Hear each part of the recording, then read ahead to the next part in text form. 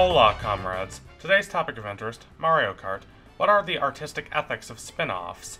I.e., when are you artistically justified in making a spin-off, and when should you let a main series lie? The answer lies in both ideas and execution. Normally, I'm of the belief that execution is enough. You can make a great story out of anything, no matter the concept. I don't care if an idea is cliche. If it's done well enough, it'll seem new and interesting. Conversely, if an idea is done poorly enough, it will always seem derivative and banal, even if no aspect of it had ever been done before. So what makes this different? Well, a spin-off game can still be of high quality even if it doesn't make any logical sense, but just because a spin-off game is of high quality doesn't make it a positive addition to the franchise. It's the same reason a good game that's a sequel isn't always necessarily a good sequel. Super Mario Galaxy 2, I'm looking at you. For example's sake, let's make up a ridiculous game. Legend of Zelda Golfing. This is a sports game where you get to golf around Hyrule. There's the Hyrule Field course, there's the Zora's Domain course, look out for water hazards, there's the Death Mountain course, where you could end up lofting your ball into the crater if you're not careful. There are two modes. There's the single player mode, called Hyrule Tour, where you have to travel to these different courses and compete against the best golfers in Hyrule, earning new equipment and sponsorships. And then there's multiplayer, where you and three of your closest friends, or three complete strangers that you connect with over Wi Fi, can pick from a pool of over 20 Zelda characters. Now, this game could be good. It's possible. It could be fantastic, even. It could be realistic and compelling, allowing the player to experience the crests and troughs of golf without having to slog through the draining boredom that comes with them.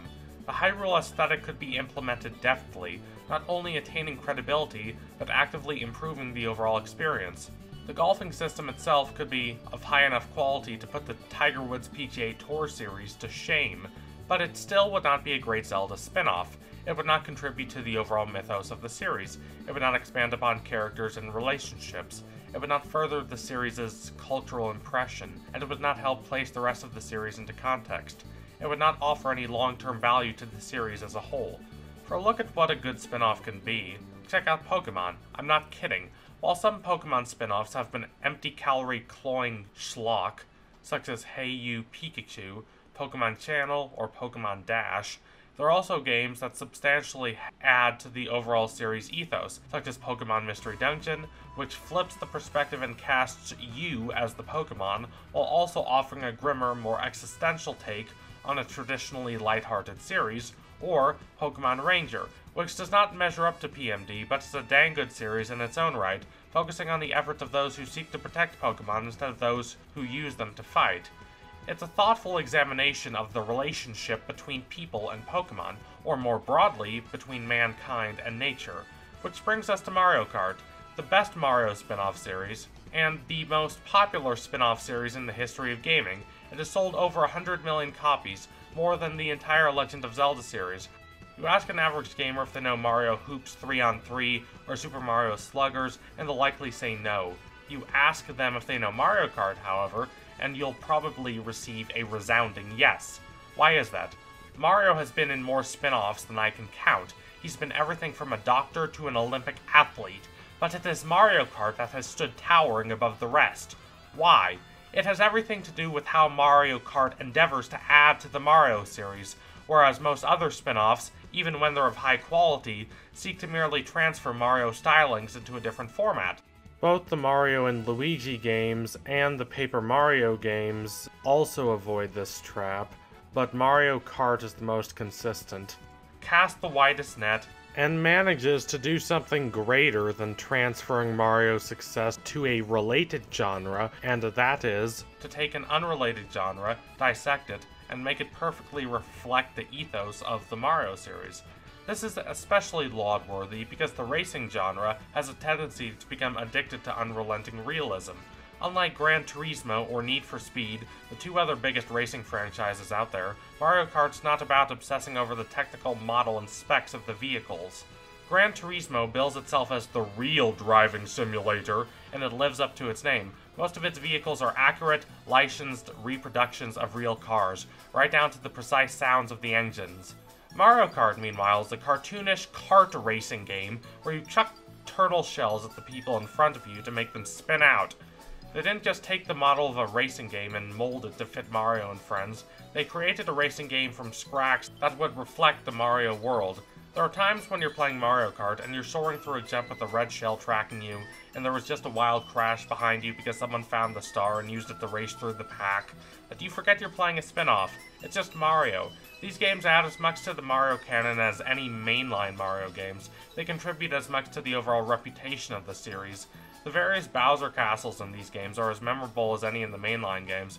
You get to know how foreboding and ominous Bowser's palaces are. Even the tracks that weren't explicitly based on any real areas in the mainline Mario series, such as Mario Circuit or Luigi Circuit, capture the overall atmosphere of the Mario world concisely.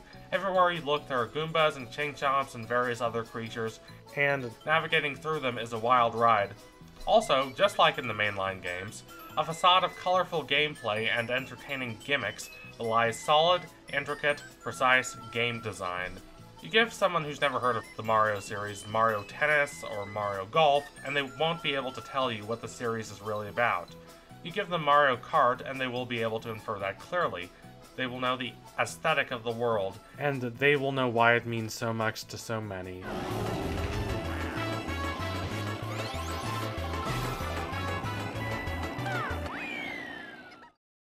I would like to say that I have fond memories of playing Mario Kart.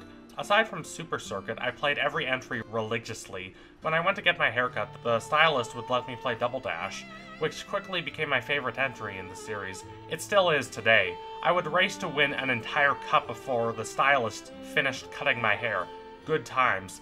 Thinking about that, I can't help but get nostalgic. More importantly though, by the time this video is released, it will have been a full year since I released the first analysis video on this channel, on Red and Blue and the freedom of choice. If you're viewing this immediately after release, you might find that the Red and Blue video is no longer available for viewing. Those ShoPro idiots who wrongfully violate fair use and take down any video which features clips from the Pokemon TV show, even for criticism and analysis, got it banned from YouTube. I'll bring it back online by summer. Trust me. Since that video, though, I've learned that this process is both easier and harder than I made it out to be. Easier in the sense that there are patterns you can follow to make the video making process slightly easier for you, and harder in the sense that making one of these every week wears on you. It adds up.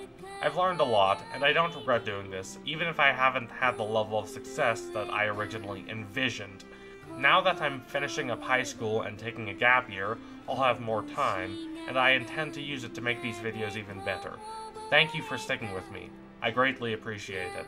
So if you liked what you saw today, consider donating to my Patreon so I can produce even more accelerating content. Also, don't forget to like, comment, subscribe, all that ultra stellar stuff. Adios, camaraderos!